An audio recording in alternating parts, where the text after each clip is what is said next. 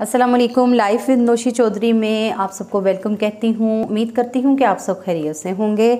आज मैं चिकन कीमे के कबाब बना रही हूँ और उसमें क्या क्या चीज़ें शामिल होंगी और उसको आ, किस तरह से बनाना है मैं आपको डिफरेंट मेथड्स बता दूँगी। तो चलें, हम हम अपनी रेसिपी को स्टार्ट करते हैं। सबसे पहले मैंने बोनलेस चिकन लिया है। चिकन लेके उसको, अगर आपने चिकन को ड्राई कर लेते हैं तो उसका कीमा कभी भी पानी नहीं छोड़ता। लिहाजा मैंने चिकन को वॉश करके अच्छी तरह से उसको ड्राई किया था स्ट्रेन करने के लिए रख दिया था। फिर जब वो ड्राई हो गया तो उसको मैंने कीमा बनाया और कीमा बनाते वक्त इसमें मैंने सब्ज़ मिर्च शामिल की है थोड़ी सी। थोड़ी सी फ्लेवर के लिए सब्ज़ मिर्च शामिल की है। बाकी जो मसाले मैं इसमें शामिल करूँगी, वो मैं आपको बता देती हूँ। गरम मसाला है हाफ़ चम्मच और हाफ़ से भी कम क्वांटिटी है काली मिर्च, दो चम्मच ज़ीरा धनिया पाउडर है, एक चम्मच छोटा चाय वाला चम्मच जो होता है, वो दड़ा मिर्च का है, हाफ़ चम्मच हल्दी है छोटी वाली और वन एंड हाफ़ स्पून जो है वो मैंने सॉल्ट लिया है। यानी डेढ़ चम्मच नमक है और एक चम्मच कॉर्नफ्लोर का लिया है। ये सारी चीज़ें मैं इसमें शामिल कर दूँगी। इसके बाद इसमें मैं शामिल करूँगी लहसुन अदरक का पेस्ट है महरान का यूज़ कर रही हूँ और दो चम्मच टेबल स्पून हैं बेसन के, वो मैं इसमें शामिल करूँगी और एक अदद अंडा मैंने फेंट लिया है और वो मैं इसमें शामिल कर देती हूँ। बिसमीम कीमा बहुत फ़ाइन चॉप्ड हुआ है और इसने बिल्कुल भी पानी नहीं छोड़ा, इसलिए कि मैंने इसको बहुत अच्छी तरह से ड्राई कर लिया था। अब मैं इसमें बेसन शामिल करूँगी। दो चम्मच जो हैं बेसन के हैं।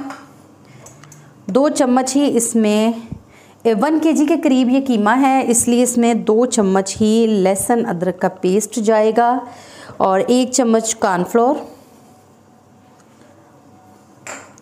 और ये सारे मसाले जो मैंने आपको बताए हैं, वो मैं इसमें शामिल करके इसको अच्छी तरह से मिक्स कर लेती हूँ। इसके बाद इसमें एक चम्मच जो है वो सोया सॉस और एक चम्मच ही तकरीबन इसमें जाएगा चिली सॉस का। इन सारी चीज़ों को मिक्स करके इसको बाउल में डाल के ढाँप के मैं फ्रिज में आधे घंटे के लिए रख दूँगी। इसके बाद हम इसको कबाब को फ्राई करेंगे।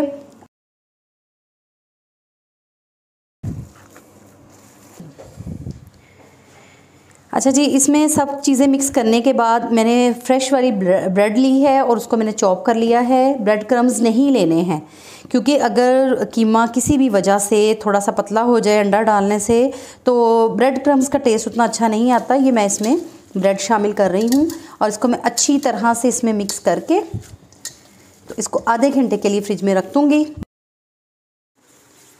जी तो आधा घंटा हो गया है कबाब के मटेरियल को आ, मैंने आ, मसाले डाल के सब कुछ शामिल करके आधे घंटे के लिए रखा था।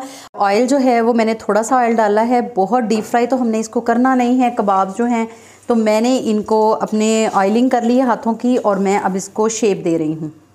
आप चाहें तो इनको गोल शेप में भी बना लें कबाब की शेप में बना लें। मैंने चूँकि स्टिक्स में लगानी है तो मैं दोनों तरह की शेप ही बनाऊँगी और मैं इसको पैन में जो ऑयल गर्म किया है, मैं उसमें ये डाल दूँगी। बसमिल्लाम फ्लेम को स्लो रखिएगा ताकि ये ना हो कि वो ऊपर से बहुत गोल्डन हो जाएँ, कबाब और कच्चे रह जाएँ। इसलिए लो फ्लेम पे ही हम इसको तैयार करेंगे।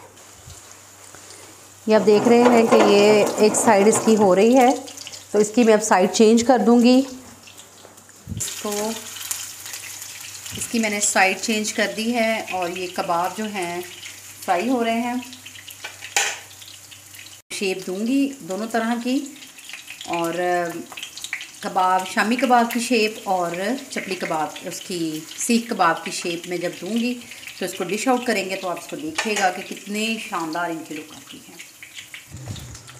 ये तो आप देख सकते हैं कि मैंने कबाब को सीख कबाब की शक्ल भी दी है और चपड़ी कबाब की शक्ल भी दी है। बारबेक्यू स्टिक्स में मैंने शिमला मिर्च प्याज और कबाब को लगा के कितनी खूबसूरत प्रेजेंटेशन इसकी बन गई है।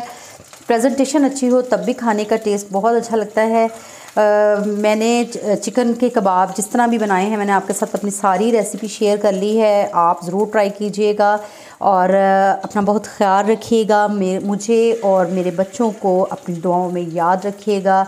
अल्लाह ताला आप सबको अपने हिस्सों अमान में रखे आमीन सुम आमीन।